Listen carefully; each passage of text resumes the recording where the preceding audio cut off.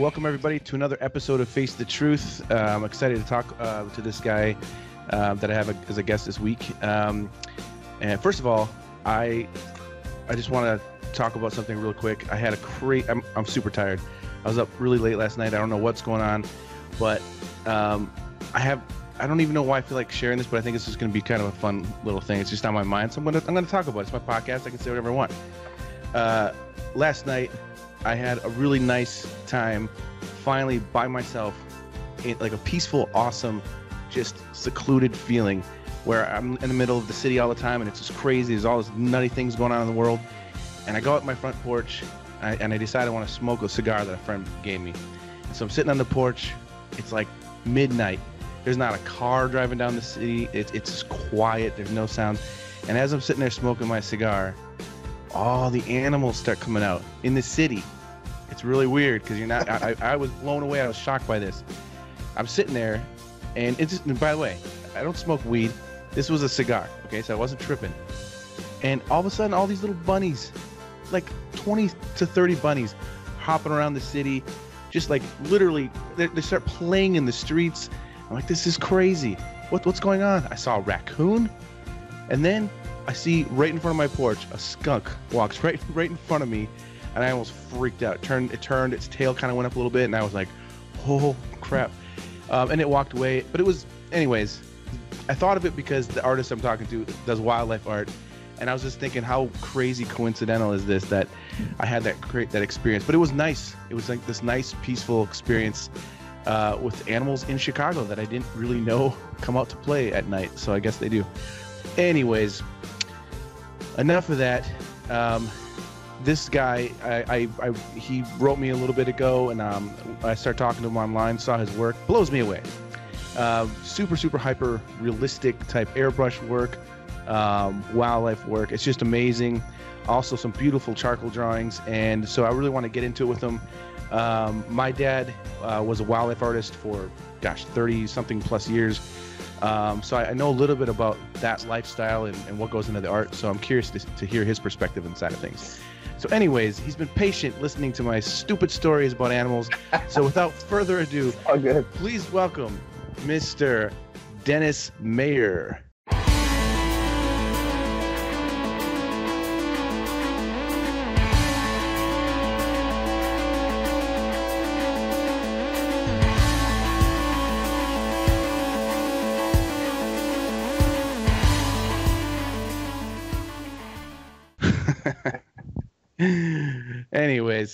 True story. It was like I felt like fucking Snow White last night. All the animals and walking around. It was crazy. Maybe they were attracted by the smoke or something. the smell. It was weird, man. It was really, really. I don't know. It was fun. So, um, so yeah, man. Um, your work is awesome. It's Thank so you. cool. Um, and uh, it's really it's one thing that I really appreciate right off the bat. I mean, I do traditional work, um, but I also do digital work, and I do a lot of um, I've, I've I've done a lot of super hyper realistic type paintings, so I know what goes into it. But what blows what blew me away was those tractor illustrations that you sent me, all done with airbrush. I'm assuming like on an illustration board or something like that. Yeah. But it's insane. It's insane, man. Um, I've got tons of questions and stuff, but um, how, where did you come from? Like, like like this I've I've never seen airbrush work like this before. It's pretty awesome, man. Yeah, thank you very much. Well, first, I just I just want to say this before I start my my portion is I, I, got to know your work uh, when I heard uh, the podcast you had with uh, Drew Struzan. Oh, okay. And when Drew said that uh, your caricature was one of the best he's seen so far, I thought to myself, this guy must be good because Drew Struzan is is the real deal as far as the artist goes. Yeah. So that's that's how I got to see your work. And I've never been into caricature or cartoons, whatever. But when I saw your work, it's like, wow, it's literally, it's just like a full realistic painting with exaggerated proportion. That's all there is to it, really. But I mean, yeah. we underestimate sometimes the cart- the caricature. You know what oh, I mean? Yeah. Like, um, no. We tend I to know. think, oh, it's just it's just loose and all this stuff. Yeah. But when I saw you work, and what is funny is is in my style, one little brushstroke away could actually uh, not look good. But right. you you can go so far in exaggerating, and yet you put it beside the photograph of your reference, and you can tell it's still him. So I mean, I, I can appreciate it's an art by itself. You know, I'm not sure if I could exaggerate my animals that far. and oh, still make them look it's, like a real. It's A, exaggeration is a different. Uh, by the way, thank you, I appreciate that. But exaggeration is a completely different muscle. You know, like first and foremost, I'm an artist. Like I can draw and paint whatever. You know, um, and I spent many years learning how to draw and paint people, realistic uh, proportions and all that kind of stuff. And but caricature is something I've been doing since I was a little kid, and it's a different kind of muscle. It's it's you know you once you start flexing that and practicing, you'll start to see things in exaggerated form. Uh, you know, even animals, cars, it doesn't matter. So it's it's a lot of fun. It's interesting, but um, but as I mentioned before, my dad um, was a wildlife artist. He won Wildlife Artist of the Year in '84, I think. Uh, he's done duck stamps. He, he's won trout stamps.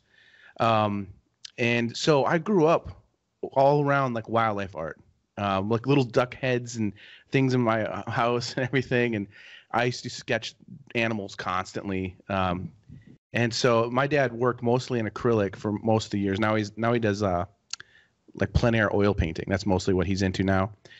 Um, but how did you get started in all of this stuff? I mean, your work is just phenomenal. It's it's um, it's very uh, there. There's sorry, I know I just asked you a question, but I just I was just thinking about like, you know, there's a difference.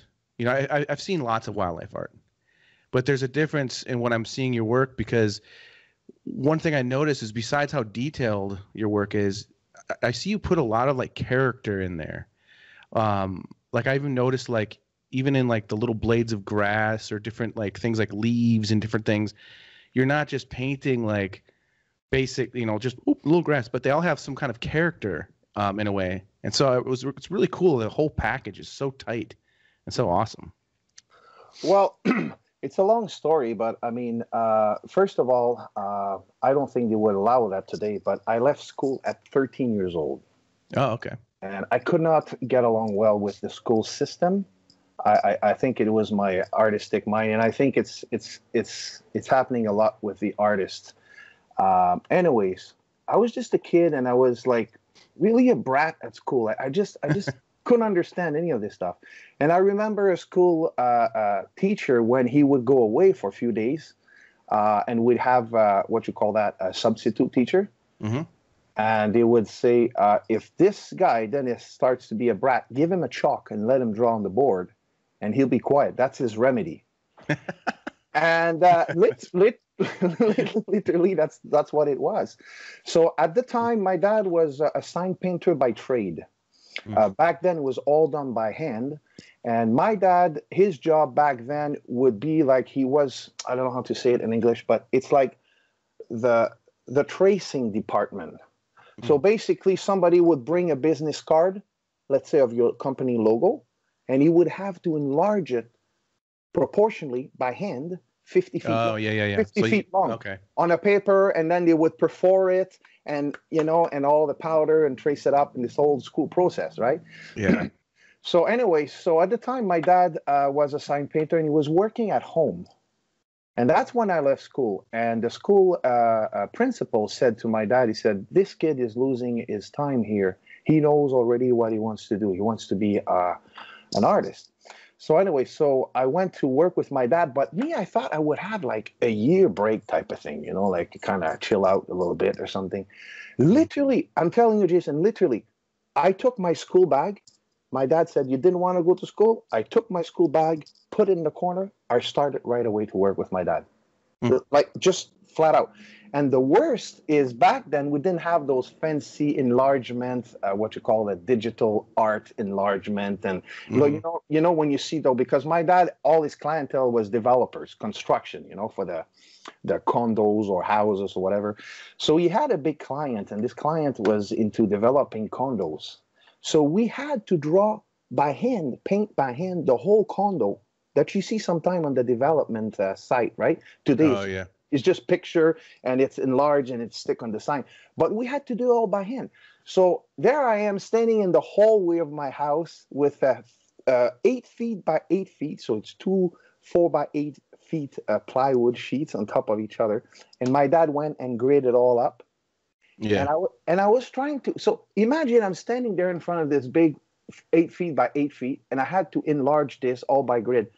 Like I had some potential, but I mean, I was not there yet, you know? So I got really discouraged. So from then, my dad find out I couldn't trace it up and this and that was too too much time consuming. So he went and he bought a, a school projector. So basically, we traced up this whole condo on a piece of acetate with a little Mm, yeah. fine marker, put Old that school. on- the school and then projected it. So anyway, all that to say that I started out into uh, uh, sign painting with my dad. Uh, I'm originally from the uh, from Montreal, so my dad had the second uh, biggest sign shop in the city of uh, uh, Montreal on the South Shore, and we could put a 50 feet trailer in in our garage. It was a family business. So, anyways, we did that for about uh, maybe a little bit over a year, and then my dad was was getting tired, and anyway, it's a bit long story. But we quit the business of sign shop, and uh, we went into architectural renderings, like the Hmm. one I've, sh- I've shown you. Well, that was a whole. My dad, I remember, he said, "You want to draw? You want to really be an artist? Okay, we ain't going to do letters from A to Z no more. We're going to really draw." So we went into architectural renderings, but we I had no clue what that was. Like, I mean, how to proceed, where to start, and anyways, uh, when I say I worked a lot, and I, I'm sure you went through the same path. I mean, talk about depriving myself from playing out with my my friends, and I was just locked Mhm. in my room, and and just being obsessed by it. You know what I mean? And uh, so you know, we I started in sign painting. I've never been a real sign painter. My dad was a real. I don't know if you know about the what you call the script Yeah. yeah. the script well basically it's all about the pressure of your brush the more you press the wider it is and Yeah. as you go my dad would do i still I, I probably won't even can't even do that today with all my art experience it's it's a whole different Oh yeah. That's the- Yeah. and then my dad would go what he would call the the one stroke basically would take the brush just the stroke of the brush would be the thickness of his lettering so so if you apply too too heavy then it gets wider so it's literally the pressure has to be regulated all the way and he would do like he was really Yeah. Painter. So, anyways, so we started. cool. I start. I did about a year with my dad, helping him, and then we went into architectural renderings, like you've seen there. And then I went really good. I, I, I get to be really good, and uh, I got to be in in in contact with a company in St. Louis, Missouri, and uh, I had a six years contract uh, uh, with them, and. Uh, I don't want to brag myself, but I had no competitors in that field. Yeah. The reason why it's because the inside of me, I've always been more a fine artist than a commercial artist. So if you, if you look at my architectural renderings, look at the landscaping, is way beyond what a normal architectural uh, renderer would do. Yeah. Architect- architectural illustrator is all based uh, on representing form, shape, color of the building, and a little bit of trees to kind of give a bit of a mood.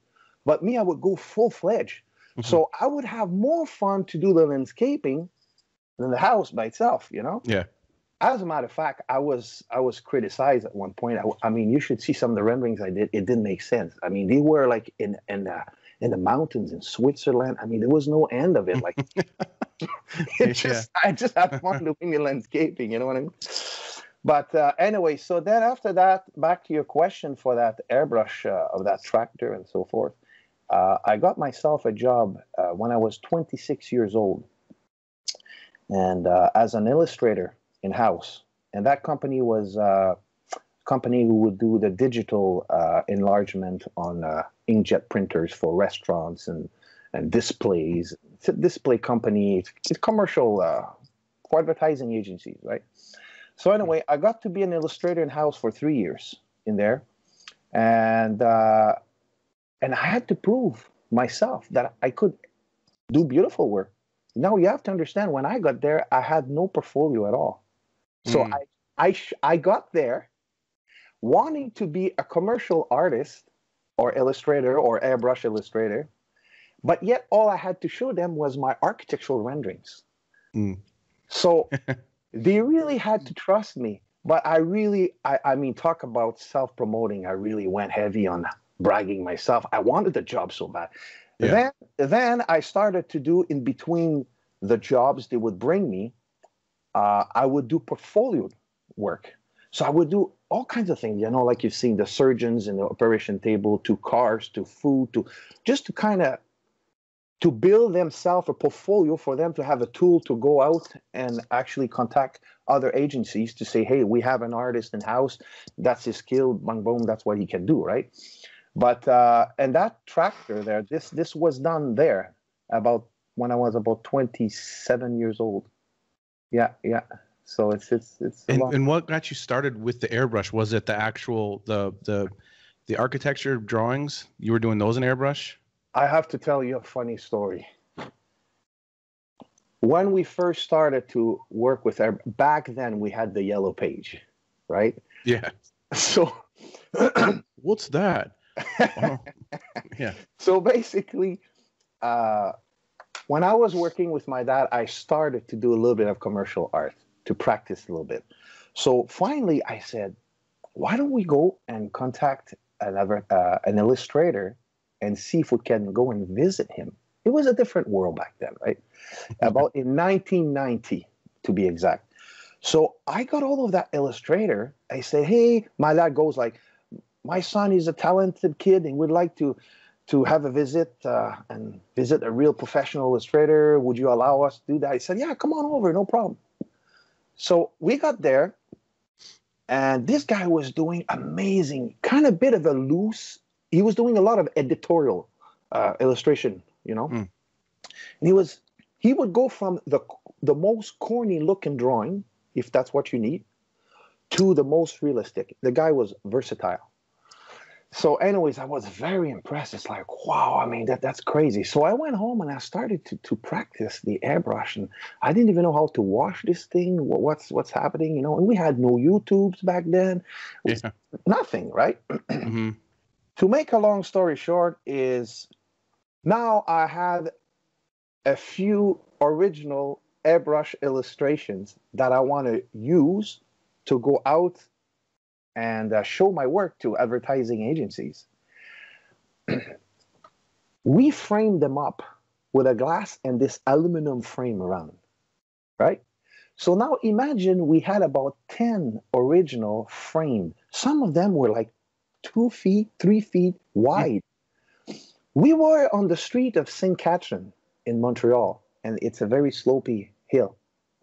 This this big black briefcase for artists was loaded with those framed glass original. Oh it, no! It weighed a ton. Yeah. So when we'd call the advertising agencies or the graphic uh, uh, designer, we'd say, "Hey, we would like to show you so, your work," but you know what? We'd ask them. We'd say, uh, "Excuse me, um, we just want to make sure. Do you have enough room in your in your in your place?" The guy goes, "Like, what are you talking about?" Because we need room. I mean, talk about we were naive. We had no clue of nothing. So we we would show up at the advertising agency's office and literally display all our frame original. So you would take a whole room. Later on, we discovered that we would have to actually take our original, had them photographed, put them on four by five transparency slide. yeah. And what we would do is we would we would take a, a blackboard, make an opening, and put the four by five transparency behind it. So when we put that in the light box, it's a nice black frame and you just see the transparency popping out, right? So that eliminates all this crazy heavy stuff we had to carry. I mean, yeah.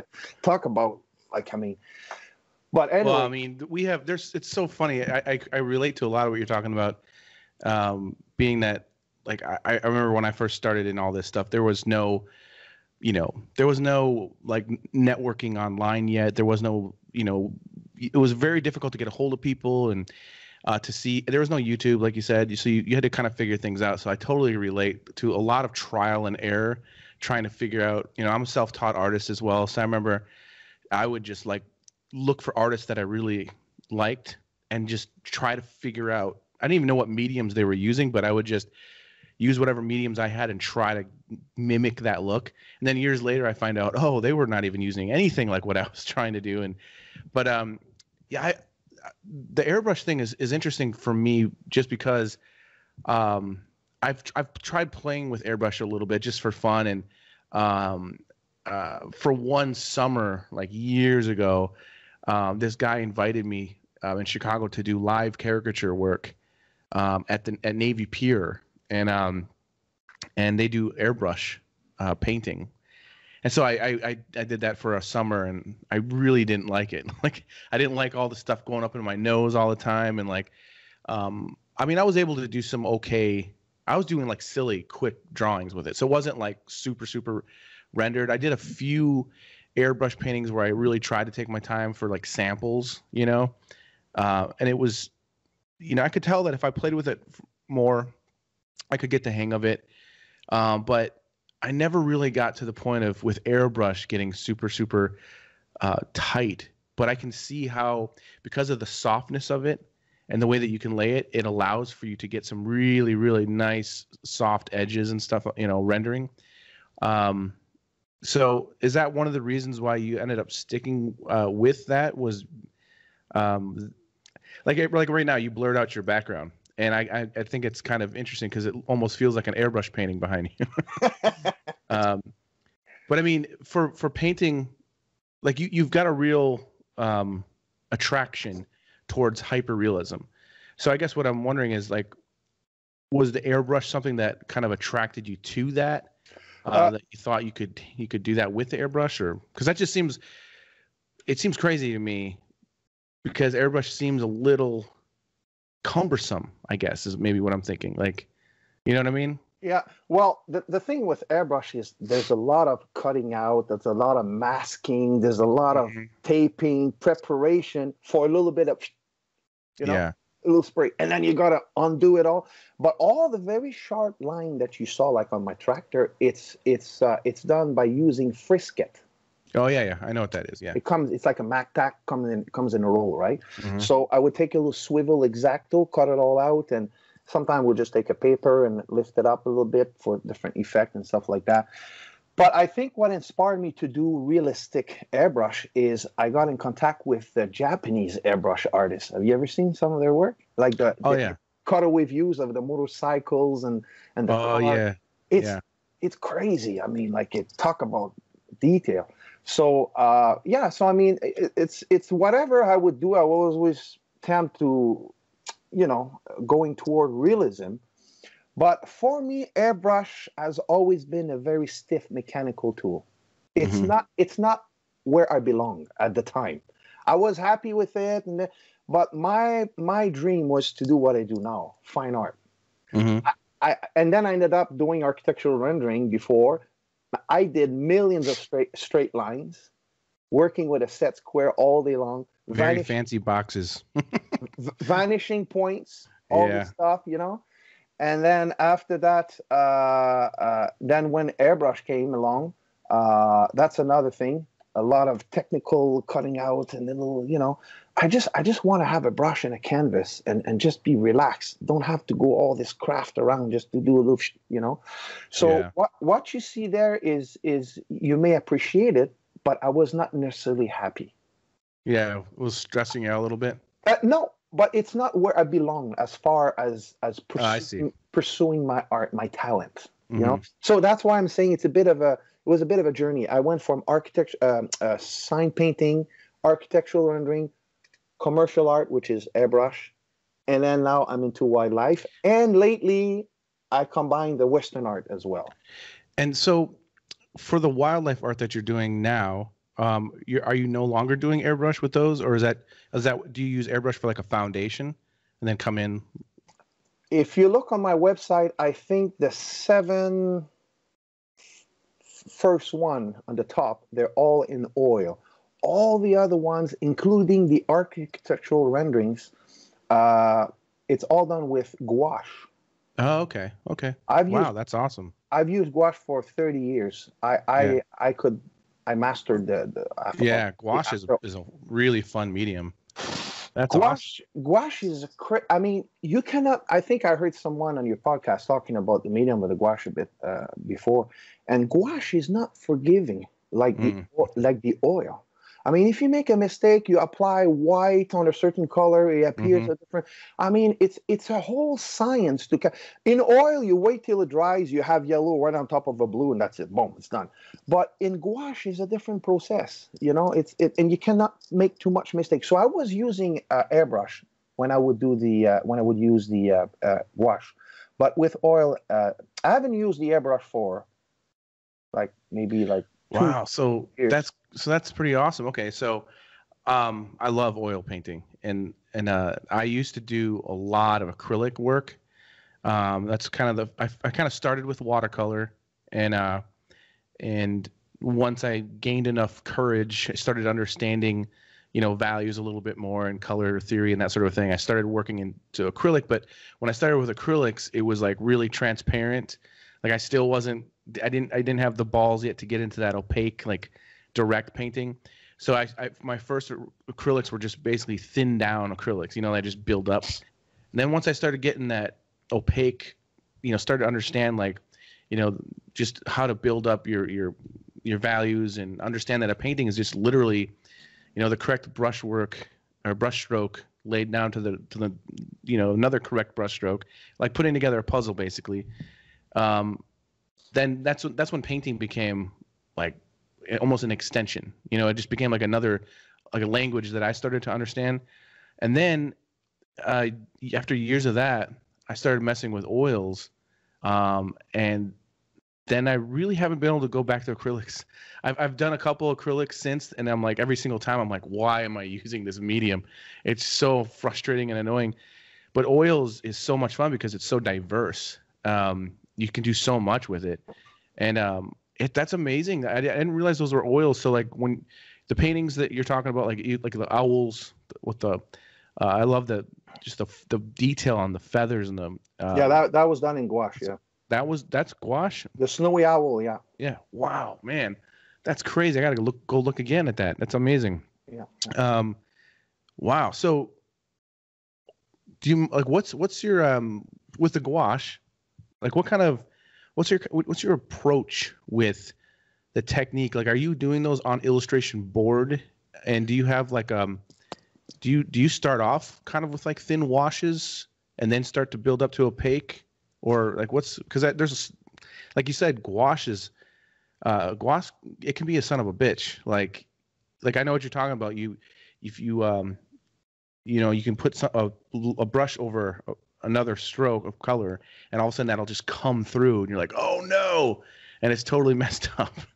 So I mean, that's that's interesting that you're doing those kind of paintings with gouache. That's awesome. That's Well, crazy. I, I mean, I have to give credit where it comes from somehow because I'm self-taught, but somehow we always withdraw informations from someone else, right? Yeah. So uh, for me, my hero was Carl Brenders. Hmm. Uh, Carl Brenders is a wildlife artist from Belgium, and uh, he's he's he's he's crazy good. Uh, anyway, so um, I saw a book one time, and I got to see his technique. So uh, basically, I would work on uh, museum board, not illustration board. It's too glossy. Okay. So it's it's a museum board. Has a little bit of a tooth, not too much, very little, okay. and it's acid free. So what happened is I would do example if we focus, let's say, as if uh, we're talking about of a, a headshot of a wolf. Mhm. So everything that is dark, example, almost like your Johnny Cash in the back. Everything that is dark, I- I would go sepia, sepia. Mm-hmm. You know, Yeah, Tone. like an undertone. yeah, yeah, sepia, just to get the darker. Whatever is darker, I just do it right away with the brush. After that, I go with the same sepia tone, but with the airbrush, just to give the roundness and the shape, right? So when it's done, it looks like a bit of a muddy, chalky kind of look and drawing. But I got the dark tones Mhm. and I got all the shade and the form. Then I start to build up the layers of the details with the gouache. Even even in my airbrush, when I would apply it with the uh, with the airbrush to get the form, I would put gouache literally in my airbrush as well. Oh wow. That's Yeah, yeah. interesting. It yeah. didn't mess up the No, the oh No, no, no. So I no. know air. That's another thing about airbrush that pissed me off all the time was how when they clog, you're just like, oh no. What what were you using? Taking. What were you using? What were you, what what medium? Acrylic. Um, it was an acrylic yeah. base. Yeah. I mean, I- it, it was a long time ago. So to be honest, I don't remember. Yeah. It was oh gosh, dude, it was like 2003 or something. I started I don't out with uh, with uh, Dr. Martin's. You know the ink, the Mhm. Dr. Martin's, Mhm. And uh, and then I switched to I think it's FW acrylic ink. Yes, yes. That's how Okay. transparent. So transparent for me, I discovered that it was fantastic when I did the food illustration. For Mhm. some reason, I could get this transparency effect when I want to do like a tomato and all the glossy. I needed some transparency. It's a bit like glazing in oil language. Yeah, yeah. You know. so I mean, yeah. That's pretty cool. So with the gouache, you do like the underpainting, and then once you have that underpainting set, you you just start going in opaquely, um, Yeah. and just start building it up, building it up. Okay. Very, very, very thin, layers upon layers Mhm. upon layers. Yeah. And and even if I know a certain area, I don't know why it's a psychological thing. I don't know, or maybe I, I- I'm a bit afraid. Even if I know a certain part will almost be black, I could have just go and mix and go straight up black. I'm Yeah. always building up. I, Same I, here, man. That's I- that's I that's don't what I have do. the courage to say, okay, this is black. Let's do it now. I think it's I, I do the same thing um, when I'm working traditionally that way. I think for me, black is so harsh, and you know, Scary, one, it's one- scary. yeah, but you know, like one thing that I've noticed just from observing nature and and not just literally nature like animals, but just reality, is that there's really not black in anything. No. Um, anything that you see that's black has actually got Yeah. a lot of color and depth. Yeah. So when you put black on something, it just flattens it and it kills it. So- So you want to, you know, so like there, there's this artist that I really looked up to a lot uh, when I was first getting started. Um, I still like some of his work, um, but I met him in person and he was a real dick. So I kind of, uh, I kind of, uh, he's, he kind of put a bad taste in my mouth. Um, but uh, I saw one of his paintings and I was so excited to finally see one of his paintings in person. And when I saw it, I was like, kind of um, taken back a little bit because his his misuse of black made me realize that he wasn't really the kind of artist I thought he was. Like I realized his work had a certain uh, quality in print, and and so maybe that's what he was doing. Like so he he was painting a certain way in oils. Um, so that you know, and back then he was getting his work photographed, I'm sure, for um, editorial work. And yeah, maybe it looks good in print, but when you see the original as an artist, I was like, oh, geez, like, it, hap- it happens often though. yeah, and when and when I saw the original, like it had this guy and he had his mouth open, and, and it's it's it's it's supposed to be painted very realistic, but when you see the original in person, he the inside of the mouth he just painted black, just black, and it was so distracting and weird to me. And then the rest of the painting, wherever there was like shadows, it was just like creases in the clothing. It was just black, black, and um, and it was it, it was interesting for me because you know, it, it kind of gave me a different perspective. Like, okay, you know, he's not all that. you know what I mean? He's You know- I don't know what he's doing, but it, that's not right. You know what? do you know where I learned how to make my black? From Bob Ross. oh, really? That's funny. I, I've learned over the years, before when I started, I used to be very one track. I want to be realistic. I would look only at the realistic artist in my style only. I wouldn't give a heck about the other guy. Yeah. Now, I sneak a bit in every kind of different style because Yeah. it doesn't matter if they do crap work. They may give you a tip that can change your career. Yeah, and- yeah, yeah. I'm not a big fan of Bob's style, but I mean, he literally changed my way of doing my mixing my black. Even though he's not the style that I like or I would do, but it's up to me to apply it in my own Mhm. style. But I could learn any tips from a cartoonist, a guy like you. It's a different, uh, different world. I could learn different things. So I've learned that over the years that I can't just be one track looking. I could learn from a guy who does watercolor. It has nothing to do with, with oil painting. Right. Well, that's the best thing I think is, um, I think as artists, you, you know, to have an open mind that way, because I mean, the way that the best way I think of, that we learn, and I've said this many times before, but the best way that I think we learn is by struggle. You know, struggle helps us. You know, we have to push through things and push through frustrations, and and that helps us learn how not to do things. And I think the more we learn how not to do things, the better we get. So, even even artists that are terrible, like for example, that piece I saw um, in person, I learned a lot from that because I realized how not to do it. Like I'm not going to use black that way. Um, you know what I mean? So I think that's it's a really important thing, and like every little thing you can learn that way. You know, you fill up that toolbox as much as you can. yeah, yeah. you know, that's it. Yeah. How um how big are those paintings that you're working on? The gouache paintings. Uh, or the or the oils, both of them. Oh, yeah, well, like, let's say, like for instance, right now I just literally I'll send it out to you. Uh, a gorilla. Uh, it's a family of a silverback gorilla, and it's uh, 50 inch wide. Okay. By I think it's about 40, 36, 40, something like that. Mm. And it, it's lit. It lit. It's literally. It took me literally like three months, even more. It's, yeah. it's it's a it's a lot of work and also lately i've discovered that i prefer to do my own stretching i, I make my own stretch mm, my yeah. own my own wooden bar and i stretch my own uh, canvases i just like like it better you mm know mm-hmm. especially when it's that size and when you stretch a canvas there's so much pressure um, you know, I just don't want things to crack up or whatever. I'm, I'm a little bit paranoid by this. You should see the the way I frame it in the back. You'd think it's I'm building a bridge. I mean, I put, I put metal brackets in all the yeah. corners, and then the T brackets for the uh, reinforcement is is overdone. But I just want to make sure it's yeah. so so is it like so? I, I actually prefer uh, painting on like stre- like canvas on like wood or something like that. I don't really like stretched canvases just because I'm, I, I like it to be like a real firm uh, surface. Oh yeah. Um, when you st- when you stretch your canvases that tight, is it pretty firm when you're painting on it, or?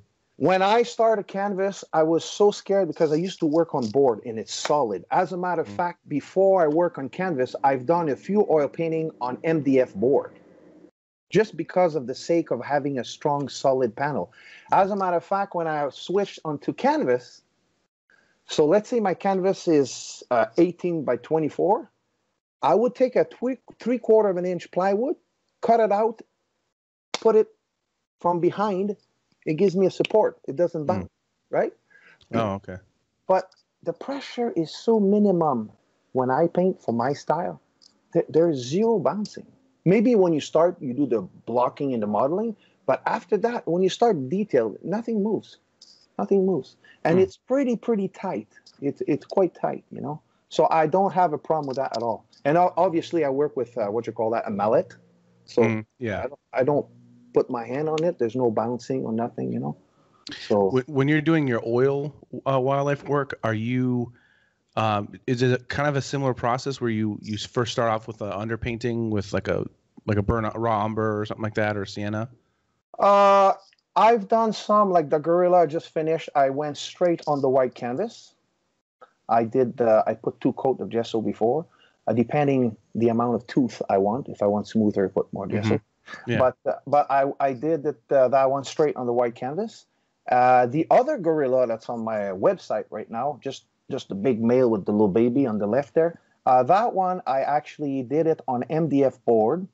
That was before I started to work on canvas, and I did this raw umber background. Uh, the reason why I like to work on a on a on a background color tone background is you know how it is when you work straight on white the transition is so is so strong mm-hmm. that sometimes it's hard to you know when you tone it down it's just first of all it's easier for the eyes you, it's like looking at, at, at snow in, in, in the sun almost you know because mm-hmm. i i have a big lighting system i have like a four rows of fluorescent by eight feet long it's mm it's white. It's it's very bright, right? So when you put a canvas underneath, it's like looking at snow. Sometimes it's just like yeah. Well, I know what you mean. So when you tone it down, it kind of calms your eyes first of all, and mm-hmm. I find it easier to calibrate the colors, you know, to match the colors, and and and also yeah. it does reflect too. You know, it does reflect when you do your painting, you know, but it's not a must. But I I don't know. It's I don't have any specific. To be honest with you, I don't have I think I don't do twice the same thing. Almost. Yeah, man. I'm the same exact way, man. That's so funny. I'm so you, not. You, keep I, saying a lot of things, and I'm like, that's totally exactly how. like same thing with like I always tone things first. Um, I, I, I mean not always. Obviously, there's been times where I start with white, but I like even that Johnny Cash. I have to finish that thing. I, I I've been. It's like something I want to do. It's just a, something for fun, you know, for myself. But I haven't gotten to finish it because I've been busy with other things. But you can see that is like I I did um I made my gesso like a like a medium tone gray, uh, and then I start building off of that. Just because, like what you said, like the white is just too much, um, and I want to be able to control my light. You know, is that what you mean? Like, like basically, we're, we're you know, if if it's if it's toned already, I decide where the white's going to be and when it's going to be. But um, I've seen people like probably with your gorilla painting, um, like a friend of mine, Robin Eli, he's just um or Eley, sorry, he's an amazing oil painter. He's an Australian guy, and um, he'll do paintings with white canvas or white linen, and at the very end of the painting, all the white you're seeing is actually the the linen showing through, and that's so that's an interesting way of doing it as well. Like I just, just I've never really approached it that way personally, you know. Yeah, some people they would go with and, and put a whole a tone of sienna all over. Let's Mhm. say on your portrait, Johnny Cash, all over, and then they take a cloth and erase wherever the highlight is. Yeah, yeah. you know. There's And- so many ways. yeah. Yeah. yeah, But but you're painting behind with that. Is that what you would call a gri- grisaille? Grisaille? Grisaille? You know the grisaille? You know, like you, you do like a. It's like a gray. You know those those some of those artists they work. It's just like a gray tone, and then they apply full color on top. Oh, I see what you're saying. No, this one actually, when it's done, I'm gonna. It's gonna be black and white, but I'm actually gonna um, add some, put some color in there to make it more, uh, some things to pop out. But it's based off of black and white reference, anyway. So I'm mostly doing like a like a value painting. Okay, yeah. Um, and um, my goal with this one, what I want to do with it is I want it to be kind of thick and painterly. Like so, I'm, it's going to be a lot of just big sculpt, like basically sculpting with brush strokes, is what my plan is for this one. Um, and uh, I'm not quite sure. I was thinking of doing something of like like a crazy yellow or something behind him, like just so it just pops with against the gray. But um, I'm not sure yet. I'm hoping one of these days I have. I always have something coming up, and and then I can't work on it. so like there's always something happening. So um, yeah, and unfortunately I don't get to do as much traditional painting um, these days as as I would like to. Um, but uh, that's something that uh, I shall remedy. I gotta work. I gotta try to make extra time, but I, I don't even know. Like I'm, I'll be 50 in a couple uh, on in December, and uh, I don't know. I don't know if I would even be able to do commercial art again. For one Yeah. reason, for one reason. First of all, I mean, it would be ridiculous to show up there and say, "Hey, I still do it all traditionally." You know. You know there's what? people that do though. what would kill me is the what you call that the uh, the revision. Like you know, Mhm. they have, there's little things they Yeah. want to. Kills me when I do digital paintings. They still do it, and it sucks when you do digital paintings. I would tell the guy, I said, look, make sure, because some of those art directors, they would go and say, yeah, yeah, it's all good, it's all good, it's all great. Some of them had the experience to foresee ahead. They had a vision. Some of them, they would not until you do it. And then they would tell you if that's what they want or not. But, anyways, uh, that would kill me, and also the deadlines. hmm Yeah. oh this the deadline for me is is is at the end i was working mostly for private companies because i was into a lot of branding packaging food packaging. So i was not uh, working so much like your type of clientele. It was more like private food company. And when they would come up with a very tight deadline i would tell them look here's the choice i can meet your deadline no problem you will have garbage i promise you or you give me a couple more days and then Yeah. I'll do good work. But you know the sad the, the sad thing is let's say you screw up or they want you to revise something, right? hmm And you, you work like crazy night and day for whatever to meet the deadline. Suddenly, when there's a revision, oh Jason, don't worry, we have time. Take we have another two days. Why didn't you why didn't you give it to me first of all? Like, you know, they always have some extra time, right? But they don't tell Yeah. you that. They don't want to make ch- uh, take chance, right? But Yeah, no, I totally relate, man. It's like it's like the kind of illustration stuff that you did, I would lose my mind. Um, I have no interest in. Uh, I'm not. I'm not. I'm not a big fan of. Like, I, I've every once in a while I have to illustrate. I'll have to like paint buildings and different things like that. Ugh, I hate that kind of stuff.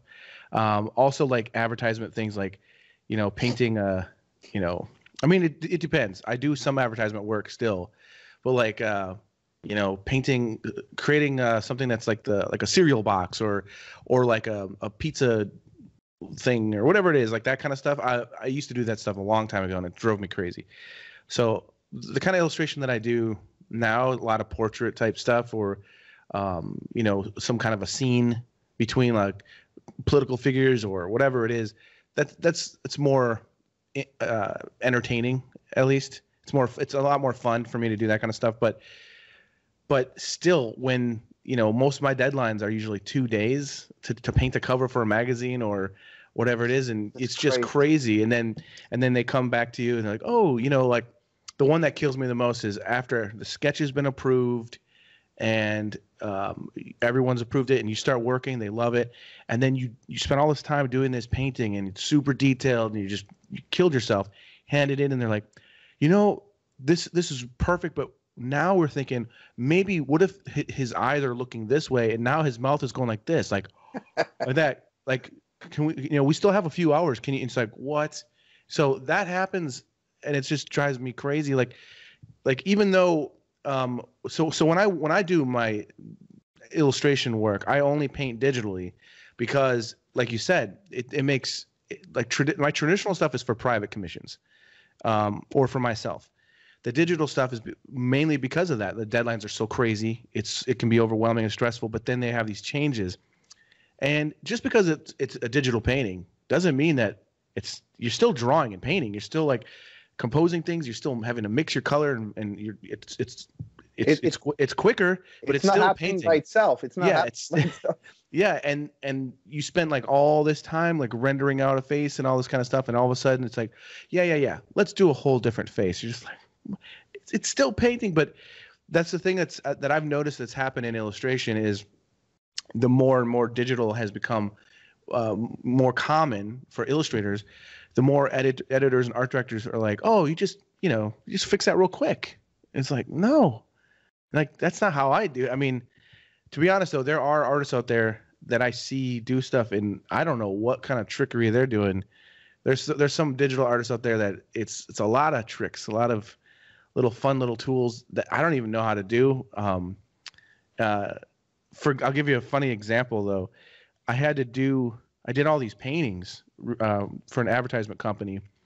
Where I had to paint all these like super hyper realistic uh, these women for this campaign, and they're all they're strong women in in their different fields. And this one woman in particular, she was she was kind of a bigger lady, and they wanted her to lose about thirty pounds in the painting, but I painted her how she actually looks and they approved the sketch. They saw the block in, everything. And when I handed in the final, they're like, "Yeah, she looks, you know, kind of big." And I'm like, well, "She looks exactly like the photo references, exactly." And, it's, and they're like, "We really need you to like make her face way thinner, make her smile a little bit more." I'm like, "Man, I wish you guys." So, but then I had a, a buddy, an illustrator friend of mine, that goes, "Oh, dude, there's like this thing in Photoshop that." I think I think it's called Liquify. And he goes, if you just select the face, it recognizes the eyes, the nose, the mouth, and you can actually just take in the side of the face and you can you can do all these different things and it takes two seconds. And I was make like, her what? Smile, make her smile. All, like, I'm like, I never even knew this thing existed, and it kind of pisses me off to be honest, because um, I can tell now that people use that a lot. But so I just tried it because I, I had no time to like repaint her. And it, dude, it was crazy. Like I was able to take in the sides of her cheeks. Um, and, and then there's the mouth that you can like select the mouth and you can sl- you can kind of make it smile. It looks pretty natural. So I made these changes, and then what I did is I went on top and I painted on top to to make it all like really work. You know, make sure that it looked flawless. But it saved me like just hours. Like I never but I, I don't like that kind of stuff. Like I, I would prefer, you know, I always tell people you know, for me, I I choose to not abuse the computer. I want to. I still, if I'm painting digitally, I still want it to be art, right? I want to be, you know, the the hand behind it. Um, but sometimes in illustration, you gotta gotta do what you gotta do, you know, to get that deadline finished. But yeah, but but but I think you know, in the world of commercial art, I know what you mean as an artist's point of view, but I think for the uh, you know for, for, for the style of, of, of, of the demand and everything, I think I think digital makes sense in commercial art. The deadlines are too crazy. Yeah, and, they are. they don't see us as artists. It's weird. Like mm-hmm. I mean, tomorrow morning, if you decide to quit all your commercial your your commercial art, whatever, and you just go full fine art, they're gonna value you as an artist. Yeah. Because because you're an illustrator, it's like look at Norman Rockwell. He's he's my he's my hero in yeah, mine too. I, I love Norman Rockwell. Yeah. He like I mean the guy was not even seen as an art as a fine artist. He was just an illustrator. Yeah. And now and now suddenly today we look at him almost as a painter, but he was not. You know. So when you're into the com- the the commercial art, they have this this this this it's like we're we're not categorized in, in, in, in the right box. It's like they they will not see me as a, as an artist. Oh, you're just an illustrator. You're just representing a, a a package, an item, or something. Yeah, but I know. I mean, but it's like you know, it's like you said. You know, it takes time, and I don't know. I, I had to struggle with this. So I had to work on Red Bull one time. Like for I'm not kidding, three nights and three days. I was drinking Red Bull I'm, I'm not kidding. I had my studio here down uh, upstairs at the time, and it was in winter. In order for me to not fall asleep while working, I would open the window, and it was in winter, but it was cold, so I would put a little coat and a toque to yeah. keep me awake. And I was. Oh, I love that you said toque. That's so awesome. I put on a toque, eh? You know what I mean, eh? Canadian. I had some brewskis, and I had a toque. You know, no, that's great. Yeah. So anyway, so uh, and I remember one day I was just sitting there trying to send an email to a guy, and I never finished typing the address. I fell asleep on the keyboard. My head, pow, finished. because the, the thing is, I was working for brand company, so I was doing a lot of packaging for extra hard cider and all those stuff. So they would come like with twelve different flavors, and I had oh to do all, all the packaging, you know all the oh. labels. So it's like it's all in one shot, you know. And you cannot use two, three different artists or illustrator. It has to be all the same. Yeah. Yep. Steady, right? That's crazy. The um, the there there's illustrators today that I've had a few in my podcast that still work traditionally, and I I'm like that is crazy, man, because like they're working for some of the same clients I work for, um, and it's just I don't know, man. To me, it's like make it as less stressful as possible. Um, my my ultimate goal is to to do high quality illustration work. You know, um, sometimes it's not possible. You know, because the deadlines are so crazy, and it's like, um, you know, what can I like? I kind of have, depending on the client, right? Like depending on, because sometimes I get asked to do like super realistic type portrait type work, and then sometimes I get to do my caricature work, which is still painted realistically. So there's different variations that I have for clients. So like, hey, if you give me a day or two, um, I'm going to give you a high quality final image, which means it's going to look just like the people. It's going to serve the purpose. It's going to tell the story, but maybe it's going to be more painterly, more suggestive. So it's not going to be, um, you know, and also, let's face it, if it's like an illustration for a magazine or something like that, it's gonna, it's only going to be like what, like eight and a half inches by 11 or whatever the print size, you, are not going to be zooming in. So, I mean, as long as it looks good at that size, just whatever. Um, you know, but other clients, you really want to get that that detail and put that in because it, you know, it, it can open other doors for bigger jobs and better jobs and stuff. But yeah, it's it's it's a it's a balancing act, you know. But, but I think there's it's not every illustrator like yourself who has uh, both sides of the medal. Like you can do commercial art and you can also do fine art if you want. Mm-hmm. Like you know, like do your portrait but in a fine art style, yeah. right? So there's a I I used to uh, deal with illustrators who were only illustrator. They had no concept of what fine art rendition was like. They're just Mhm. straight commercial artists. You know what I mean? So Oh, it's yeah. almost it's almost like in on, on your side you have the luxury to just do the commercial art real quick digitally. That's what you want, boom, boom.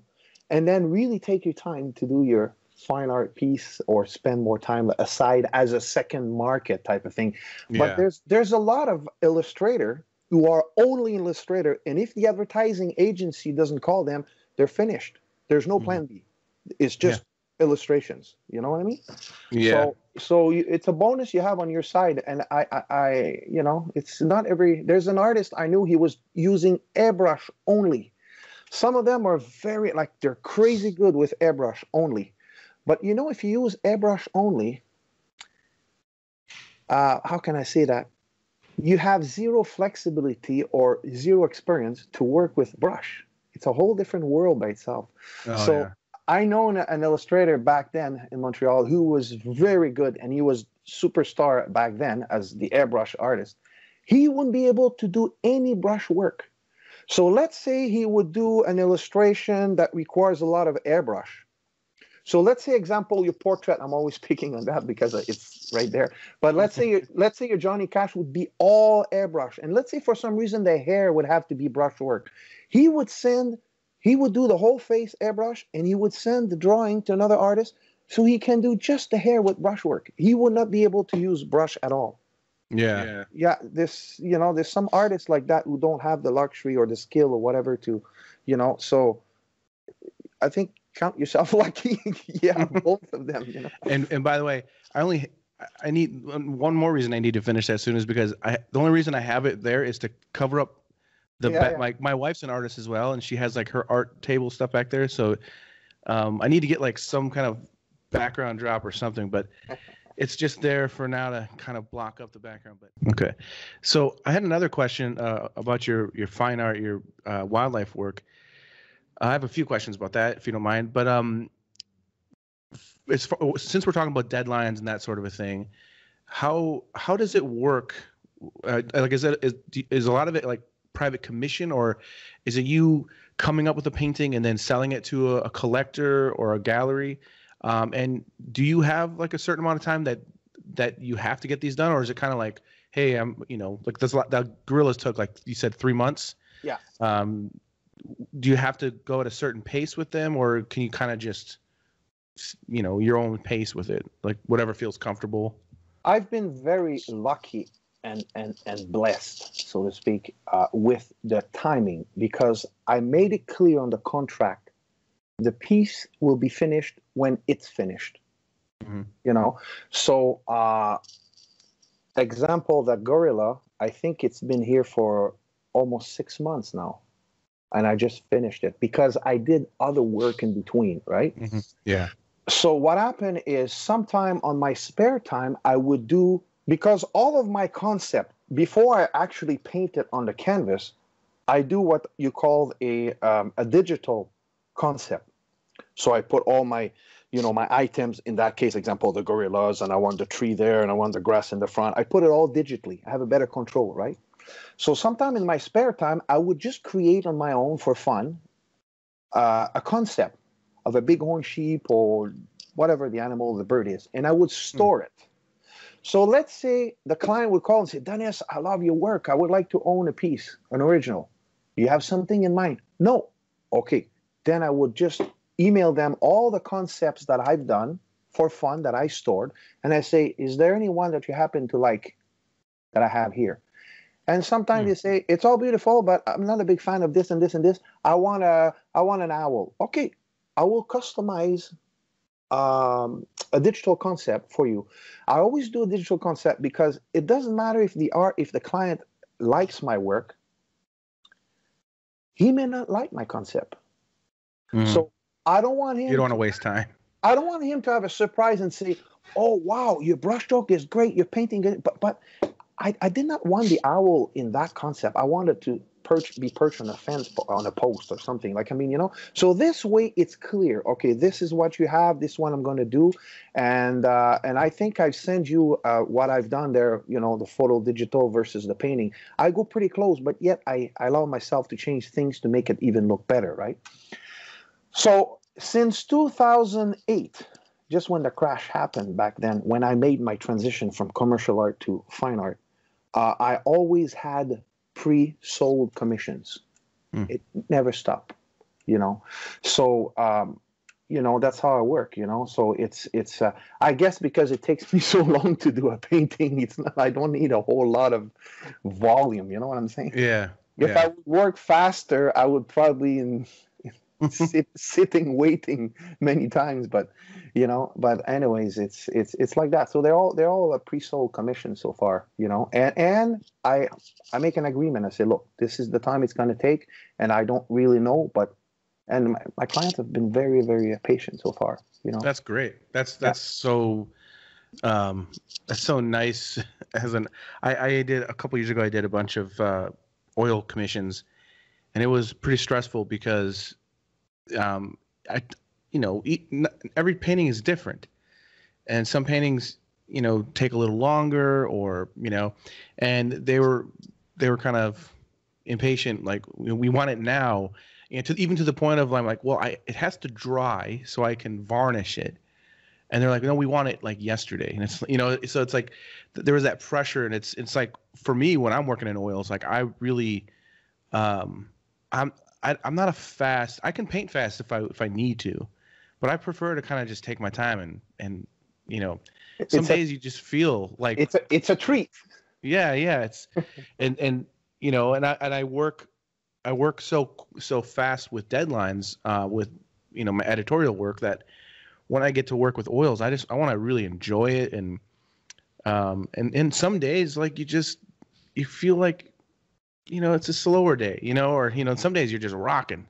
So it's it's not like like I think they sometimes they think that we're just like robots or something. you can just pump that out. Do you um so for your wildlife work um it's you have so much I mean like I'm thinking right now that elephant piece is really cool. Um but w- what do you do for reference? Um mean cuz obviously you, you're not you can't like go hang out with elephants, but I mean, what do you do for reference for something like that um, uh, for something so detailed you know well as you know it's all based you know on photographs but i could take the head from one and pluck it there make sure mm-hmm. proportions are right the light source comes from the same uh, the same side and everything uh, adjust it the best i can digitally but sometimes it doesn't i i'm not as qualified as you uh, to work with digital. I would say I'm not even qualified. I'm just a Photoshop kind of a guy who does put the photo together. So yeah. I, I wouldn't be able to do what you do digitally. So I do the best I can. So there's a lot of adjustment when I actually do the final painting. But uh, it's all basically reference taken from everywhere. Like, mm-hmm. you know, uh, and you're uh, just kind of keeping the concept in your head, like, hey, I, I know I want like a warm lighting coming from this side. So you're you're just thinking about that as you're piecing things together. I, I am not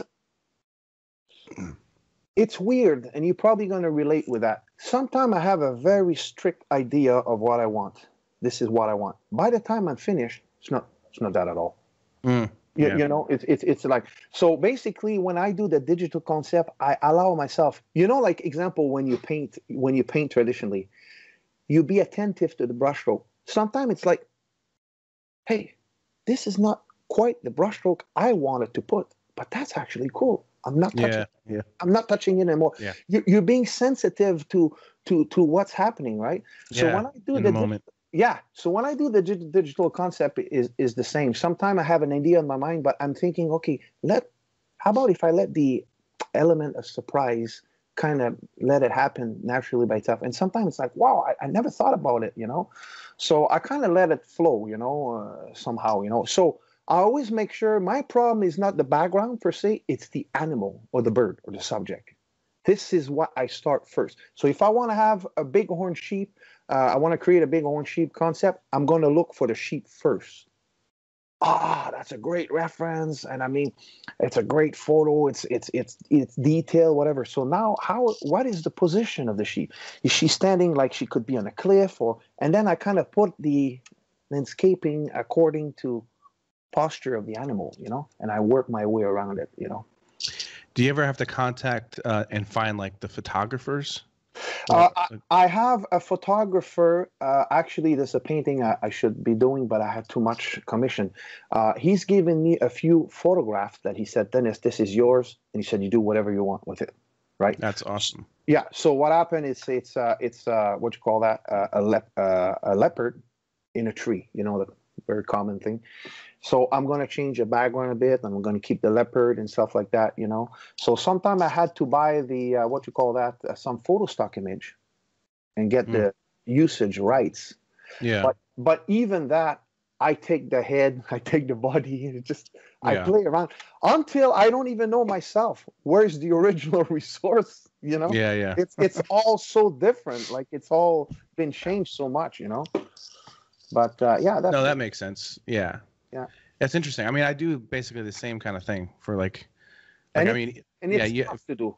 Yeah, I, I, I mean, I do that. You know, finding references for different places and piecing things together, but then also I take a lot of pictures of myself or or my wife or different whoever I can get to get like the kind of lighting, folds and clothing or whatever I need. You know, because I, I paint a lot of people, so I have to do a lot of like clothing and paint a lot of hands and stuff like that. So um, whatever you got to do to get it done. Um, Rockwell, I mean, he he was like he, he one of my favorite artists as well.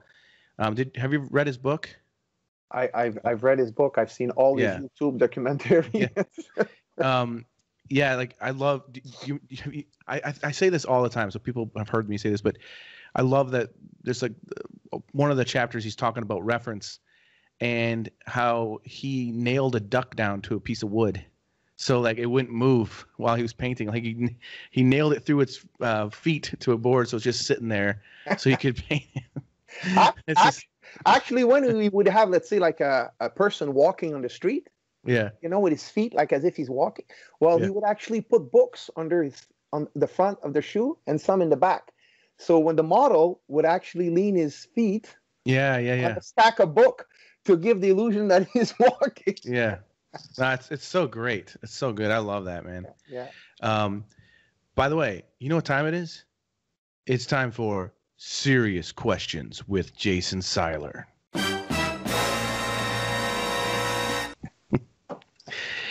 and uh, I heard through the grapevine uh, that similar to me, you you like to sing in the shower, and if, if you if you were to come by uh, uh, in not a per- perverted way, but come by in my shower, you might hear something like, "Don't go chasing waterfalls.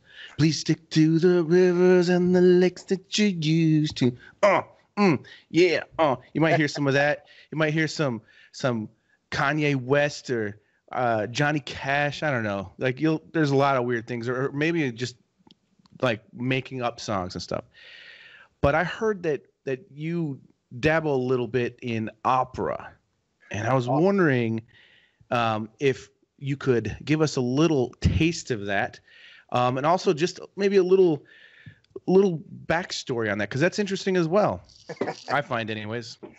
Okay, well, you know, I started in the shower but really you know it, it it it ended up being serious i ended up being part of the canadian artists association here in vancouver and I started to sing in a lot of uh, at all the big major theaters, and I sang the national anthem for our BC Lions here and stuff like that.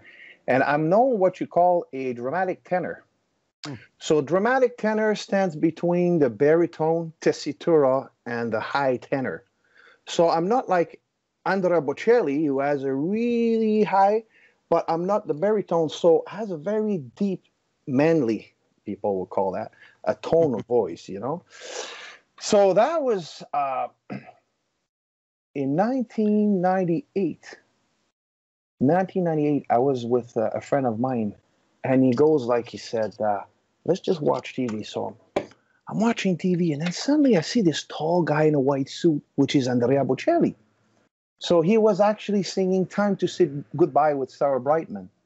And at home, we were not musically music uh, musically oriented, so it's like, wow, this guy is awesome. I had no idea I had interest in opera or I would do opera singing later on in my life. I, I just enjoy the guy's talent. I went to buy my first album of his, and it was uh, called Romanza.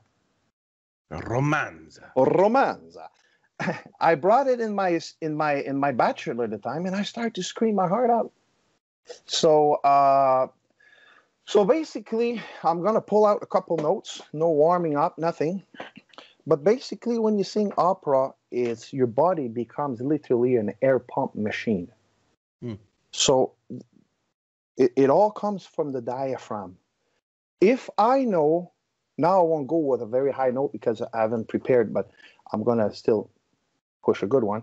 But um, when you know you're gonna, if when I know I'm gonna reach a high note, I basically have meant to mentally, I have to prepare myself right from the start of the song that I'm preparing for that very high note later, so I don't get caught on the last minute. Ah, that's on interesting. the on the red light, so to speak. Oh, I- I wasn't mentally prepared.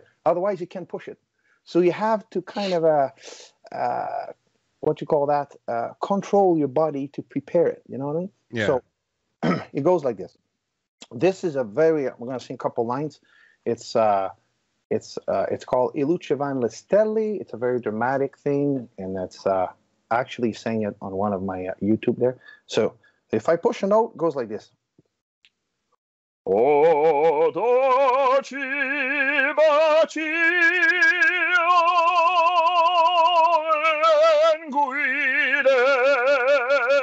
carezze mentre io fremente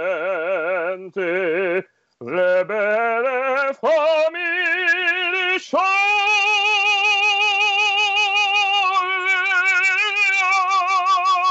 dai belli. Something like that. wow. Definitely not what happens in my shower. Unprepared. Although I do feel like I'm in love with you now. Uh, that was awesome. Holy crap. That's crazy. So you were just you're just like just did kind of just sang, you know, and and then how did but how did you go from doing that in the shower to all of a sudden now like like how did did you like tell someone, "Hey, by the way, I sing in the shower. You should hear it sometime." Like Uh, how did Like- I'm, a, I'm, a, I'm a guy I think who dares a lot. I, Okay. I, I, I'm very bold. Like I, I'm, I could meet the Pope tomorrow, so to speak. You know, I, I I'm not. I like, like- that. I'm not saying I'm I'm arrogant, but it's like I, I'm not afraid to to step it. Yeah. Right. Mhm. So anyway, so uh, one day I thought, wow. I mean, first of all, to back up a little bit, I was singing one time in a garden wedding, O Sole Mio. And I said to the guy after the wedding was over, I said, Give me the mic. I just want to sing for fun. And it was a mess. But I mean, talk about charisma and not ashamed of myself, but it was a disaster. And my wife goes like, Denis, stop it. We can hear you down the street. But it was terrible, right? But it's to say I, I believe in myself and I thought one day I'm Uh. gonna pull it off, right? Yeah. So a- anyway, so I went to a recording studio one day and I said, I would like to record my studio and see how it sounds like. Mhm. So anyway, so uh, we basically uh, record the first song, O Sole Mio, and other song, and it's like, wow. So finally, with those YouTube recordings, that was actually useful for me to knock at other people uh, at other doors and say, look, this is this is my kind of a style, whatever. And then I started to sing here locally. It's called the Singing Christmas Tree, and it's in a big church. And uh, what happened is at Christmas time, it's a big tree. There's like 75 to 80 people in the tree, like two, three stories high, whatever. And there's performances going on in the front of the tree. So I was offered to perform there. I have never performed for big crowds ever before. And I sang for uh, uh, five performances for two weekends in a row Hmm. for a total of 20,000 people. wow. I'm in the back waiting for my number to come, and I see the two doors are closed, but there's a little bit of a crack. And I'm looking and I'm starting to see all the church being being packed and people are coming. I'm like, holy smoke! I'm gonna face all those people soon. It's like my heart goes like, you know.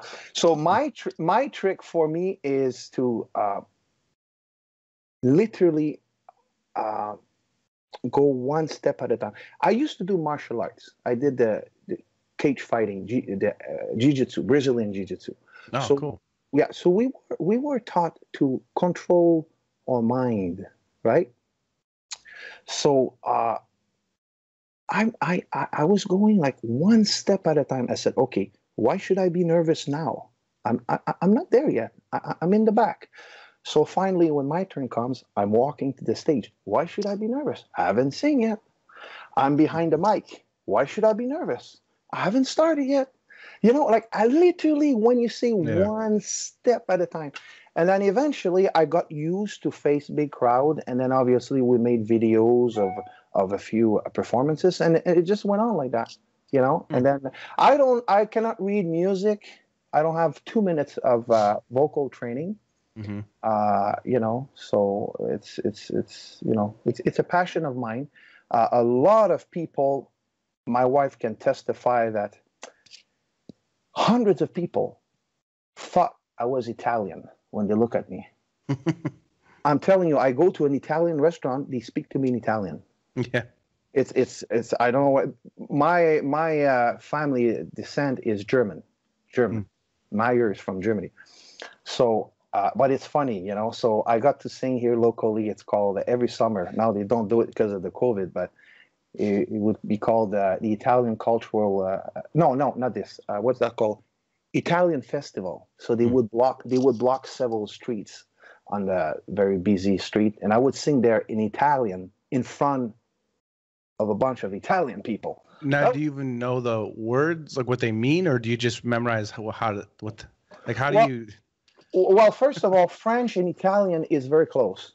Yeah, It's close. Latin based. Yeah, yeah, it's close, and it's uh, it's just when you pronounce the R, like I like you know like a like example, an English people would say ro- romanza, but if you say romanza, you see the difference just because of the R being pronounced more. That makes a difference when you sing. If you pronounce the R, that Yeah. makes it uh, you know. But uh, obviously, I know I know what it means. I went online and look at the Yeah. tran- translation. That's awesome. Wow, that's really cool. And um, that was serious questions with Jason Seiler. Uh, that was awesome, man. Um, that was really cool. Thanks for doing that. That was really cool. Um, so, as you know, part of what I do on my podcast is uh, I, I ask uh, fans to do fan art, um, and so we got a few submissions. So, uh, and uh, they're from people from all over the world, and sometimes they're caricatures, sometimes they're uh, portraits, and so we'll see. Um, so let me switch screens here. Let me know if you see this. Are you seeing that? No, don't see anything. Oh, oh, see oh that's that's slick. wow. This is uh from this is uh Ramanjit Kaur Kaur. Kaur. I'm not sure if I'm saying that right. Yeah. Wow. He's got the hairdo going on there. yeah. Very nice. I like the fact that he actually moved the brush. When I took that picture, I didn't like by accident. The brush was literally hitting my lips, Uh, and he actually backed it up. So that's good.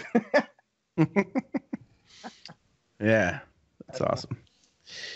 Um, this one, uh, the, the this is from Jacques Lamonnier, um, and uh, he he wrote me. I was like, "What's going on here?" But he said that all the paintbrushes it reminded him of Freddy Krueger, so he did like a sort of a mix between you and Freddy Krueger. it's pretty nice drawing though. It's pretty cool. Yeah, yeah. The drawing itself, yeah, is is pretty nice. Nice values. Yeah, really nice pencil work. It's Yeah, awesome. yeah, yeah. And uh, here's a. this is um, let's see. Oh, this is by Juan Gastelum.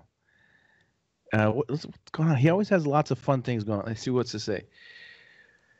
Fuya, and hats off, respect. Let's see.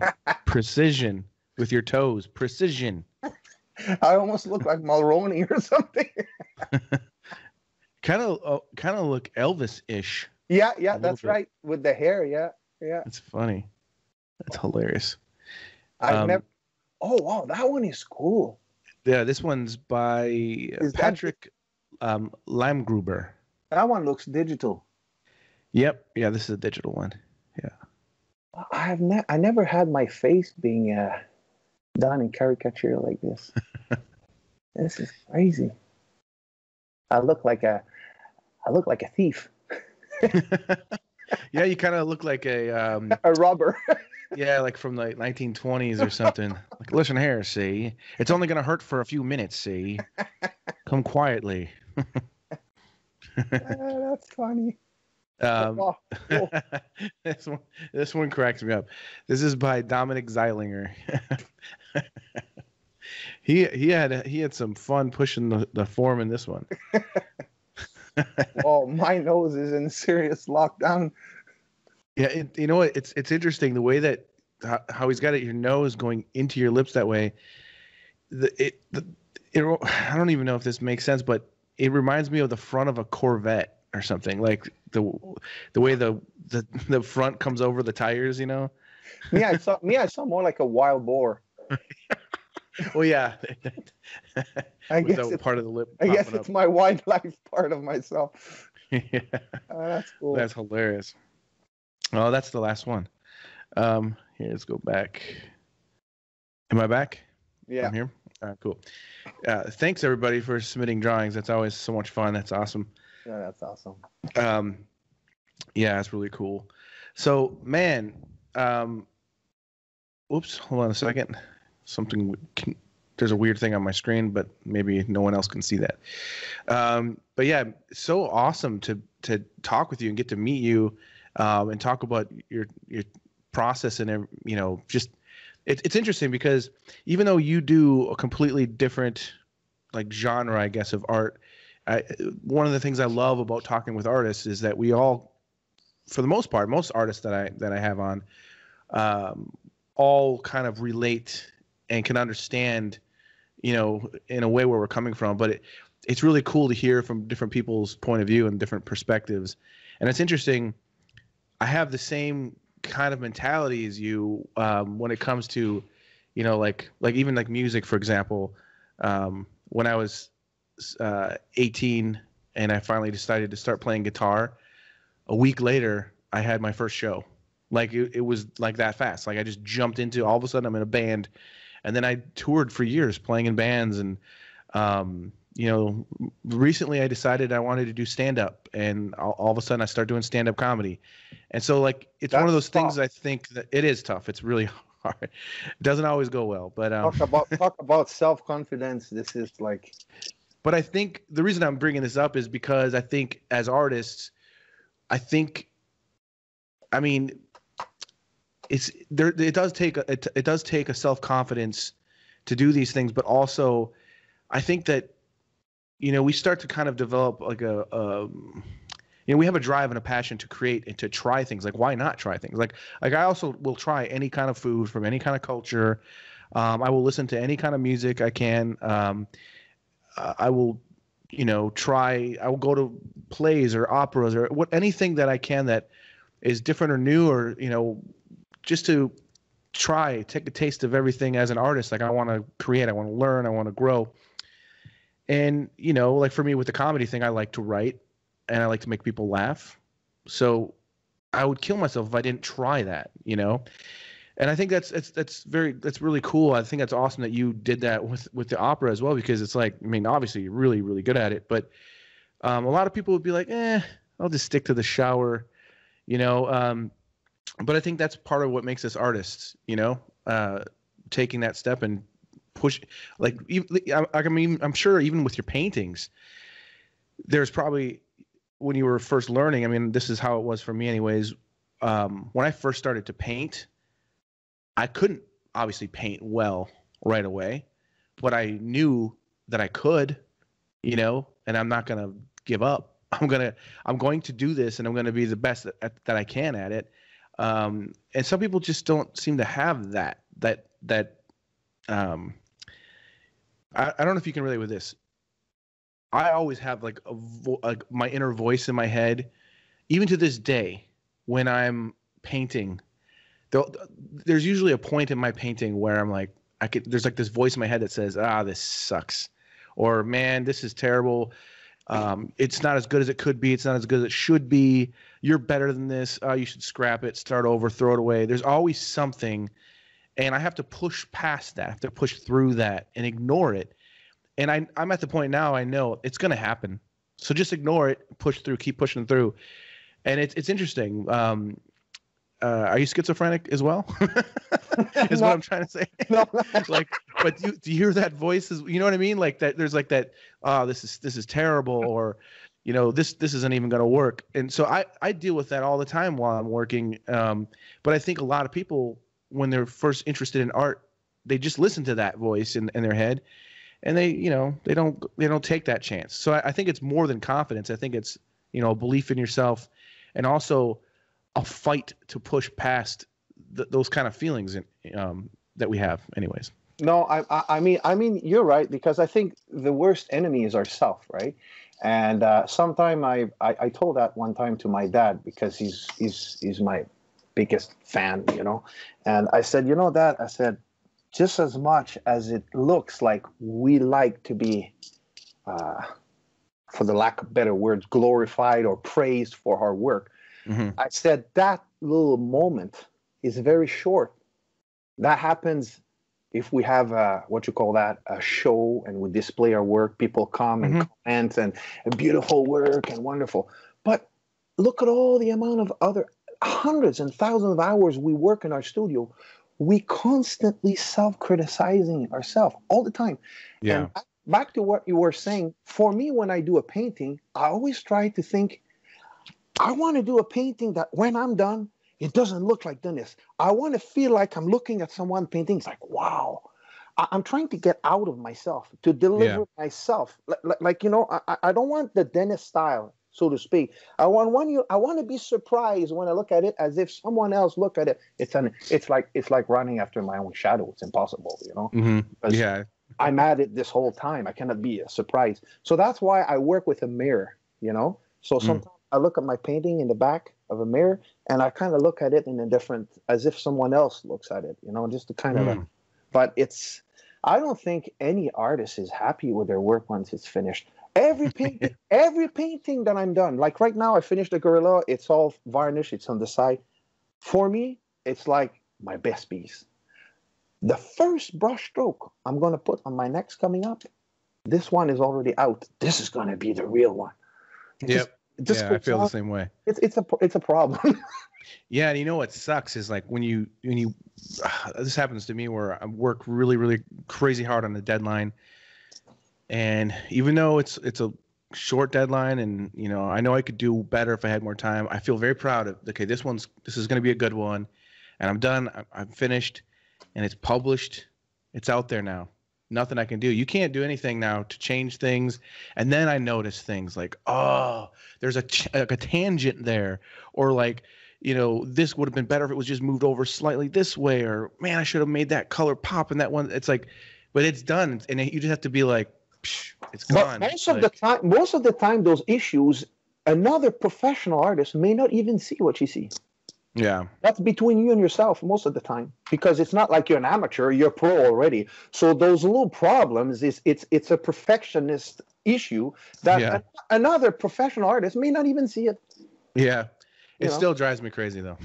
yeah. Oh, it's, it's, it's, but again, that's another uh, another thing. Like back to what I was saying before about learning how not to do things. You know, when those kind of things happen, I just kind of remember, like, remember last time. Try not to let that happen again you know? So i just yeah. kind of keep that in my mind so um but uh i gotta wrap this baby up but um i just want to say hey thanks again for uh for reaching out to me uh, and showing me your work. Um i really enjoy it and uh, it's been great getting to know you a bit and talking with you. You're um fun guy man and awesome awesome work. Um, before we split um, is there anything that you would like to add or share or promote with anybody so that people can follow you and that sort of a thing? Uh, well, first, I want to thank you for allowing me to be on your podcast. Uh, uh, only my wife can tell you I'm not lying. Uh, I'm listening to your I think I pretty much listen to almost half of all your podcasts right now. Oh. I'm, li- I'm, I'm putting them all day long. It's it's it's very cool. I used to list I used to listen to another kind of podcast which I won't name, but now I'm I'm kind of hooked on yours. Uh, well, I appreciate sorry, that. man. sorry about the noise. I think they're cutting the street here. Oh, it's okay. But anyways, uh, yeah. So thanks for having me here. And uh, what I want to say is, I think, I think, what makes a good artist is is discipline. I've seen a lot of people. I had some. I've never been a great teacher, but I had a one-on-one te- uh, student for three years. I told him, I said, look, who you are right now, not in six months, not in two weeks, right now, who you are. Put double the amount of time in your work, you will go from here to there instantly. Yeah, one hundred percent. Yeah, just because you put more time, you know. Yeah. So uh, I say sometimes to my client, I said, look, I said, you like my work? You ask me to do the same thing, half the amount of time, you will have garbage. I- I'm not. I like that. I'm, I'm not magician, right? I mean, you know, Yeah. It's time involved, right? So Mhm. anyway, it's it's it's for me. My key is is discipline and taking my time for for for my kind of market, anyways. So uh, yeah, so I think that's what it is. Is is is it's not happening by itself. I'll, I'll say like Norman Rockwell would say, "I wish I could just paint." Yeah. Nor- Norman would say, "I wish I could just paint." In other words, hold your pipe and look at it. It's magic. Can we, can we just be relaxed? But we're so like. "Ugh." As a matter of fact, sometimes when I want to relax, I may look at YouTube's on abstract artists, what totally opposite style than me. For me, it's like, oh, I still want to look someone painting, but not be so intense. So for me, when I look at someone painting totally different style, it's a therapy. I'm relaxing, and uh, you know, so I think discipline is is the key, or whatever the style. yeah. And I think you're you're the number one to understand that because being a commercial artist, if you're not disciplined, uh, I mean, what else are you supposed to do, right? You have Yeah. dead- you have deadlines, you have quality, you have you have all that combined in, in two days. That's that's uh, quite a combo to deliver, you know. Yeah, it gets old sometimes, but but I still love it though. I still Yeah, love yeah. it. You know. So thank you so much, man. That was awesome, and uh, thank you everybody uh, for tuning in. Um, and uh, we'll see you next week with Kevin Nealon. Until then, um, have a good life. All right, thanks everyone. See ya. bye bye. You want answers? The truth shall set you free. I think I'm entitled. You want answers? I want the truth. You can't handle the truth.